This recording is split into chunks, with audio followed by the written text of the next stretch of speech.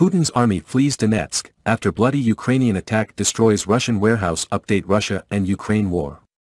A Russian ammunition depot was blown up after Ukraine's offensive as Putin's forces withdrew from the illegally annexed Donetsk province. Ukrainian troops attack a Russian warehouse, causing a large explosion in eastern Donetsk Oblast.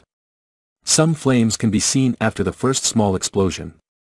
But then, a huge explosion destroyed everything around, creating a cloud of black smoke that enveloped the village of Kodema in eastern Ukraine. This was an attack that caused great destruction to the Russian military. The explosion could be seen from miles away as a huge cloud of black smoke rose over the area, wiping out all Russian military facilities there.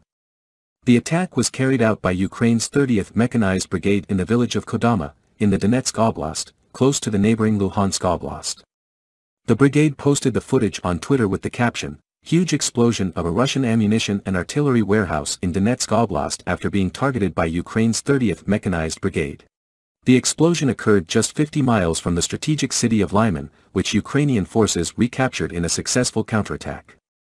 As of 12.30, 9.30 Greenwich Mean Time, Lyman was completely ventilated, Ukrainian President Volodymyr Zelensky said in a short video clip on his Telegram channel.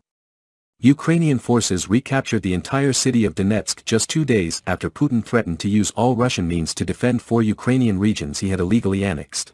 Now, the Russian military seems to be in a passive position, as they are constantly losing territory.